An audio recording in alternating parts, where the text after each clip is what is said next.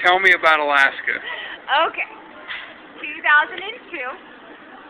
There's a car from Alaska in the parking lot here, Charleston, Illinois.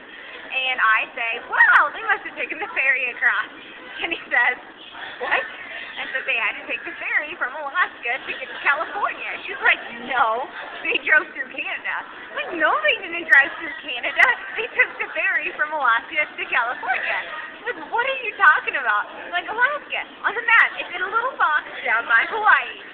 She's like, no, it's not. It's attached to Canada. I'm like, no, no, it's not. It's in a little box down by Hawaii. And we had to go look it up on a map, and there it is in a box down by Hawaii.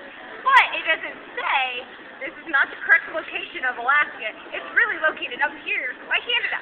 So I didn't know. Okay?